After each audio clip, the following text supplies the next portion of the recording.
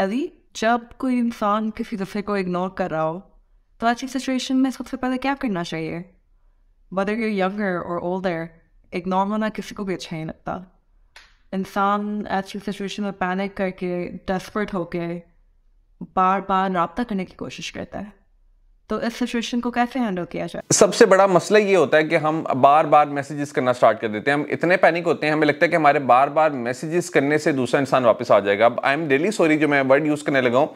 एक तो इसकी रीज़न ये भी हो सकती है कि दूसरा इंसान अपनी उस पीक पर पहुँच चुका है कि वो आपसे इरीटेटेड है और वो आपसे बात ही नहीं करना चाहता।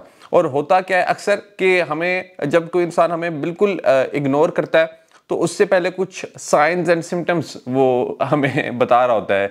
एक तो उसका जो रिप्लाई आता है, वो बड़ा टू द पॉइंट आना स्टार्ट हो जाता है।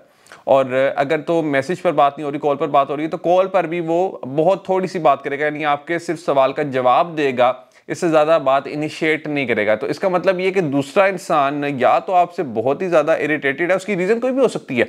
मे बी कोई आपने उससे ऐसी बात कर दी हो, ये भी एक रीज़न हो सकती है। मे बी वो अपने किसी प्रॉब्लम की वजह से इफ़ेक्ट हो रहा हो, ये भी एक रीज़न है। मे बी उसके अपने को स्ट्रेस का एंग्जाइटी का, कोई डिप्रेशन का ऐसा फेस चल रहा हो, जिसकी वजह से वो आपको इग्नोर कर रहा हो। क्योंकि ऐसा भी होता है कि जब इस तरह के मसले चल रहे होते हैं, तब हमारा मूड बहुत एजिटेटेड होता है, हम इरीटेटेड फील कर रहे होते हैं और हमारा दिल नहीं करता वो तमाम काम करने को जो कि हम पहले कर रहे होते हैं। तो हम उसमें पूरी तरह से इन्वॉल्व नहीं होते। तो मे बी ये तमाम फैक्टर्स हों। तो इसमें कंक्लूजन की तरफ़ हम जो फ़ौरन से चले जाते हैं, हमें ऐसा नहीं करना चाहिए। यानी जब भी अगर कोई इंसान आपको इग्नोर करे तो फ़ौरन से अपने आप को जज करना मत स्टार्ट कर दें कि मेरे से ऐसी क्या गलती हुई या आ, मैं तो हुई बुरा इंसान या मैं तो आ, हर रिलेशन में नाकाम हूँ कि वो मुझे इग्नोर कर रहा है और मैं पता नहीं शायद प्यार डिजर्व नहीं करता या मैं पता नहीं रिस्पेक्ट डिजर्व नहीं करता या करती। अब इस सूरत हाल में करना क्या अगर तो आपको लगता है कि आपने कोई गलत बात की थी उससे जो कि आपको बाद में एहसास हो गया तो इसमें माफ़ी मांग लेने में कोई मसला नहीं होना चाहिए। यानी आप उससे खुले दिल से माफ़ी मांग लें। और अगर आपको लगता है कि कोई ऐसी बात नहीं हुई और एक सिंपल सा कोई आर्ग्यूमेंट हुआ था तो तब आप उसे ये मैसेज कर सकती हैं और आप उसे ये कहें कि ये जो हमारी इस बारे में डिस्कशन हुई है, मैं इस बारे में आपसे डिटेल में बात करना चाहती हूँ तो मुझे बताएँ कि हम कब बात करें और हम इसमें कोई ऐसा इसका हल निकाल लेंगे जो कि आपके लिए भी फिजिबल हो और मेरे लिए भी फिजिबल हो। तो इस तरह की बात की जा सकती है कि जिसमें दोनों लोग जो हैं वो अपनी अपनी जगह जो उनके कंसर्न हैं, वो दोनों कंसर्न दूर हो सकें। और तीसरे नंबर पे अगर आपको लगता है कि आपकी कोई गलती थी नहीं या कोई ऐसी बात ही नहीं हुई कि जिस बात के बाद दूसरा इंसान आपको इग्नोर कर रहा है तो फिर आप उस सूरत हाल में क्या करें कि आप टाइम दें। यानी आप थोड़ा टाइम दें और मैसेजेस करना बंद कर दें। यानी अगर तो दूसरा इंसान आपसे बिल्कुल बात ही नहीं कर रहा तो यहाँ पे आपका बार बार मैसेज करना बनता नहीं।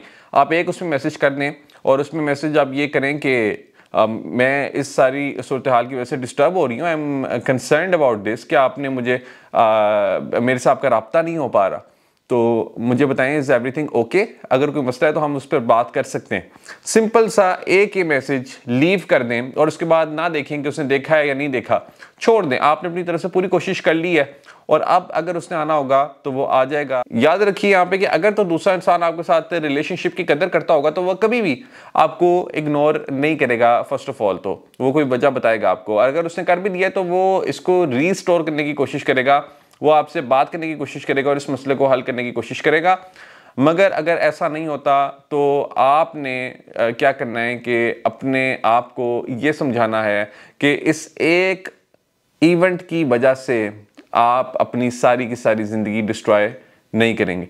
आपने 30 दिन का ब्रेक लेना है और 30 दिन का आपने अपने माइंड में रख लेना है कि मैंने 30 दिन तक कोई रबता बिल्कुल नहीं करना। 30 दिन तक कोई रबता बिल्कुल नहीं करना। अगर तो दूसरा इंसान वापस आ गया डेट्स फाइन कि दूसरा इंसान उस ड्यूरेशन में वापस आ गया है। और अगर नहीं आता देन आपको ज़िंदगी में मूव ऑन करना है और उस इंसान को भुलाना है और आगे अपने मामला पर फोकस करना। अब यहाँ पे भुलाने से ये मुराद नहीं कि आपको उसकी कोई सोच नहीं आएगी। सोच तो आपको आएगी।